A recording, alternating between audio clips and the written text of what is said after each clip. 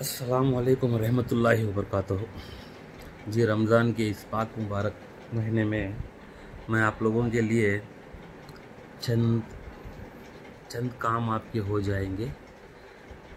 हर तकलीफ़, बीमारी और हाजत के लिए जोद असर विरित करता है।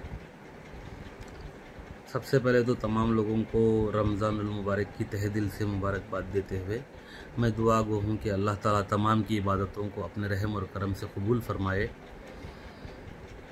और अल्लाह ताला रमज़ान मुबारक के तमाम नूर अनवर से तमाम मोमिनों की हिफाजत करे और उनको तमाम रमज़ान रमज़ान मुबारक के नूर अनवर से माला माल फरमाए। दीन के अतबार से, आखिरत के अतबार से। सच्चे दिल से दुआ करने के बाद में मैं आप लोगों को जो ये माहौल चल रहा है, इस माहौल के चलते मैं आपको एक अमल मतलब वजीफ़ा लेके आया हूँ। देखो, हर आदमी आज तकलीफ़ में है और थोड़े लोग बीमारी में हैं और बहुत ज़्यादा लोगों की हाजत चल रही है ना। तो हर किस्म की परेशानी, बीमारी, मुसीबत और रोज़ी की तंगी, दुश्मन के एज़ा का डर, गर्ज है कि जिस ज़रूरत के लिए ये कलाम मुबारक तिलावत की जाएगी, वो ज़रूरत और मुराद इन पूरी होगी। पढ़कर देखें इन पहले ही दिन से इसका असर देखेंगे। सुबह की नमाज़ के बाद मामूलात से फारिग होकर तीन बार पहले दरुज शरीफ पढ़ें और दरमियान में कम अज़ कम सात बार या ज़्यादा से ज़्यादा ये कलाम पढ़ें। आपको इस कलाम को या तो सात बार पढ़ना है, या तो आपको तीन बार पढ़ना है। ज़्यादा से ज़्यादा सात बार पढ़ना है। तो आप सात बार पढ़ें, अल्हम्दुलिल्लाह। देखेंगे। सुबह की नमाज़ के बाद फारिग होकर पढ़ें। फिर आखिर में तीन बार दरुज शरीफ पढ़कर अपने ऊपर दम कर लें। ऐसा दम कर लेना है आपको। दरुज शरीफ खादरिया सिलसिले से है।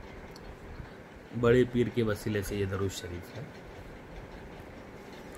तो आपको दरुज शरीफ ज़्यादा ज़्यादा ये नहीं है, इतना बड़ा भी नहीं है। मैं आपको पढ़ के सुना देता हूँ। आप मेरी ये वीडियो ऑफलाइन कर लें या फिर लिख लें, आहिस्ता पढ़ूँगा मैं। दुआ भी आहिस्ता पढ़ूँगा। तो ये आपको सात बार पढ़ना है ज़्यादा से ज़्यादा। दरुज शरीफ आप तीन, पाँच, सात कितना भी पढ़ सकते हैं। तो ये बोलने का मकसद ये है कि हर तकलीफ़, हर बीमारी वबा, जैसे कि बीमारी चल रही है, जो कि कुछ नहीं है। नवज़ बिल्ला अल्लाह रमज़ान मुबारक में अपने बंदों के ऊपर, रोज़ेदारों के ऊपर ऐसा कुछ वबा वारिद करे, ऐसे नहीं होता है ना। ये कुछ चल रहा है, चलने दो, इसके बारे में डीप में जाएँगे तो हम लोग फिर दिमाग ख़राब बेकार में। तो पहले आप बावजू हो जाएँ पहले नमाज़ पढ़े फजर की, फिर उसके बाद में आप पढ़ें खादरिया सिलसिला। ये है दरुज शरीफ खादरिया का है।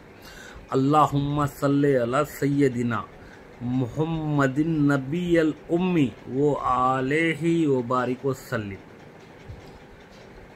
अल्लाहुम्मा सल्ले अला सैयदिना मोहम्मदिन नबी उम्मी वो आले ही व बारिक वसल्लिम। अल्लाहुम्मा सल्ले अला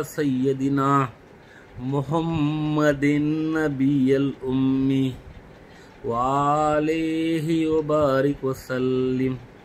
मैं समझता हूँ आप लिख भी सकते हैं इसको या दोहरा भी सकते हैं। फिर और कलाब मुबारक ये है। फिर आपको पढ़ना क्या है ये पढ़ने के बाद में? ये सात बार मैक्सिमम पढ़ना है इसको। अगर आप चाहते हैं कि ज़्यादा विरित करें तो अल्हम्दुलिल्लाह पहले ही दिन से आप जो चीज़ सोचेंगे, जो परेशानी आपके दिल में है, दिमाग में है, जो आप सोचेंगे, वो अल्हम्दुलिल्लाह पहले ही दिन से आपको रिलैक्स मिलना शुरू हो जाएगा, यानी कि वो कम होना शुरू हो जाएगी। या गई बिस्मिल्लाहमान रहीम फिर दरुज शरीफ पढ़ने के बाद में ये पढ़ना है। या गैयासी इंदा कुल्ली कुर्बतिन। ओ मुजा, मुजीबी इंदा कुल्ली दावातिन ओ मुनसी इंदा कुल्ली, ओ हशियतिन। ओ माजिया ओ माजी इंदा कुल्ली शिद्दतिन। खतियो यहाँ तक ये कलाम है। मैं आपको इस बार अहिस्सा से पढ़ के सुनाता हूँ। ये आपने पढ़ना है। या गयासी इन कुल्ली, कुर्बतिन। ও মুজিবি ইন্দা কুল্লি দাওয়াতিন ও মুনফি ইন্দা কুল্লি ও হাসতিন ও মাজি ইন্দা কুল্লি সিদ্দাতিন ও রজাই হিনা তনখিতা ও হেলাতুন হিয়ালাতুন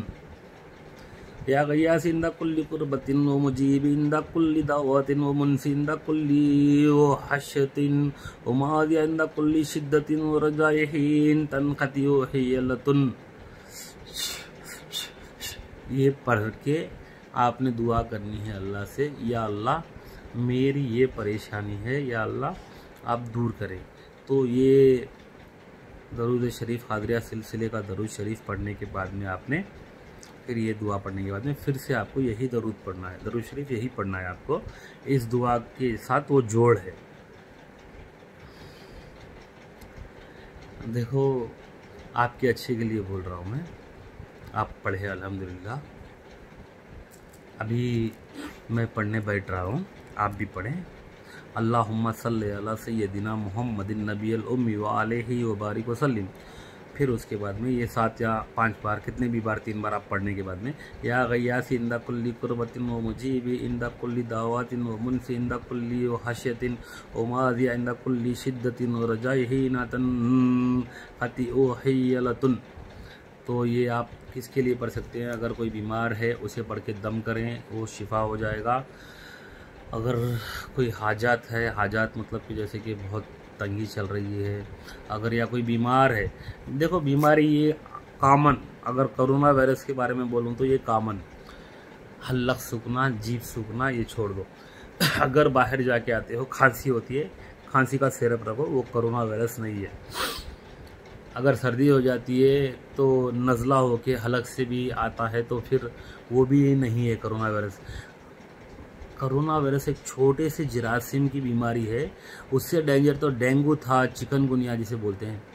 तो वो वैसे ही एक बीमारी है। इसको मीडिया वालों ने एक चैनल चलाने के लिए, हुकूमतों ने और सिर्फ़ ये मीडिया ही बढ़ा रही है। एक दिन में उतने पेशेंट उतने पेशेंट आज तक सच बोलो क्या आपके घर के पास आपने पेशेंट देखा? सुना होगा टीवी में सुना टिकटॉक में देखा फेसबुक में देखा, और यूट्यूब ये नहीं डालता है। अगर डालते हैं तो वो लीक नहीं करते हैं। मैं तो बोलता हूँ टीवी देखना ही छोड़ दो। यूट्यूब में वो देखेंगे जो आपको देखना है। टीवी आपको वो दिखाएगा जो वो आपको दिखाना चाहता है।